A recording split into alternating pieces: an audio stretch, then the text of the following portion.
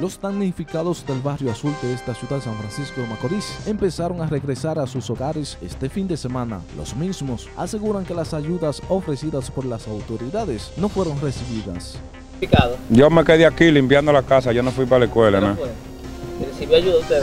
No ha recibido nada. Vea lo que yo recibí, una cremita aquí de, de, de 20 pesos y una fundita de comida. Eso recibí yo en la escuela entera. Y el ingeniero arriba.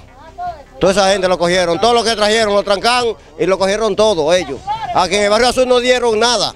Bueno, regresamos ayer porque nos sacaron y dijeron que ya no podíamos estar a Maya. ¿Hubo pérdida usted? Sí, claro. La- la- las camas se nos mojaron.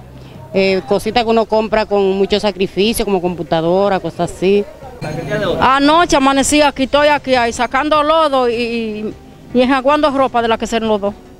Eh, ¿Usted tuvo, tuvo pérdida usted? Ay, yo no tengo cama, yo no tengo donde dormir, yo, a mí se me dañó todo lo que yo tenía. Tú sabes, para llevarse todo lo mejor y dejarle lo peor a uno. Uno lo que le dieron fue un viaje de trapo. Aquí no han dado cama, no han dado de nada, ¿tú me entiendes? Lo que no alcanza no daña la ropa y la cama y todo, ahí tengo dos boeprines dañados. Ustedes decidieron regresar.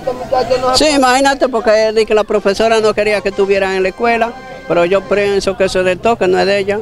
Ustedes quería ver si pueden hacer algo de gobierno conmigo, que estoy muy viejita, déjame quieta, déjame hablar. Que tú una viejita muy vieja y trabajando y trabajando y ve qué, qué- qué construcciones no pueden dormir. ¿Eh? Esa ahí se está cayendo, mijo, para atrás todos los días. Que estaba metida en mi casa y, se, y, y me, y me tuvieron que sacar y caiga porque me iba a jugar ahí adentro. y ¿Estaba en la río. escuela? Yo estaba en la ¿Cuándo escuela regresó?